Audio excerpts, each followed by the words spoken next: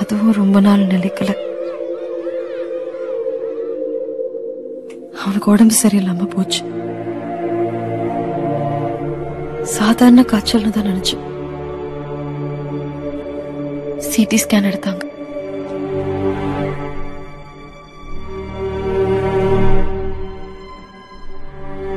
கடைசியா ஒரு பெரிய அதிர்ச்சி கொடுத்தாங்க.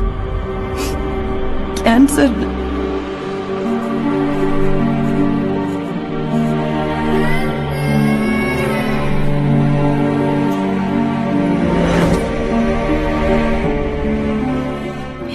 காப்பாத்த எவ்வளவோ ட்ரீட்மெண்ட் பண்ணியும். எதுவுமே பலன் அளிக்கல நாலு வயசு குழந்தைக்கு கேன்சர்ங்கிறது என்னால ஏத்துக்கவே முடியல. அவன் சாப்பிட்ட ஜங்க் ஃபுட்ஸும் காரணமா இருக்கலான்னு அவனை ட்ரீட் பண்ண டாக்டர்ஸ் சொன்னாங்க.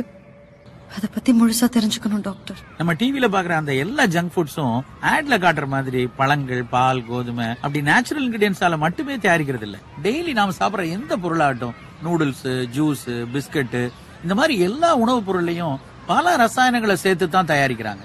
நாம நினைக்கிற மாதிரி குழந்தைங்க ஒவ்வொரு ஃபுட்டையும் நாக்கு வழியா ருசிச்சு சாப்பிட்டு எனக்கு திரும்ப திரும்ப இந்த பொருள் வேணும்னு கேக்குறது இல்ல இந்த ஃபுட்டோட டேஸ்ட் குழந்தைங்க கண்ணு வழியா உள்ள போகுது. மீடியாவை பார்த்து தனக்கு பிடிச்ச பிரபலங்கள் சொல்றதெல்லாம் கேட்டு அது மட்டும் இல்லாம இந்த ஃப்ரீ கிஃப்ட் டாட்டூக்கெல்லாம் ஆசைப்பட்டு அது மூளைக்குள்ள போய் பதிஞ்சு அந்த மூளை கொடுக்கிற குதூகலத்துலதான் இது வேணும் வேணும்னு கேக்குறாங்க. இந்த ப்ராடக்ட்ஸ்ல கலருக்காக டேஸ்டுக்காக சீக்கிரம் கெட்டு போக கூடாதுங்கிறதுக்காக கெமிக்கல்ஸ் எல்லாம் சேர்க்கிறாங்க.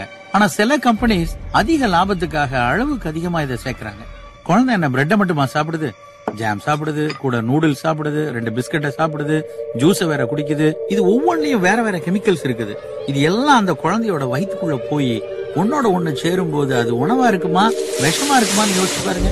இன்னைக்கு இந்தியாவுல குழந்தைகளுக்கு வரக்கூடிய புற்றுநோயில சென்னை தான் ரெண்டாவது இடத்துல இருக்கு.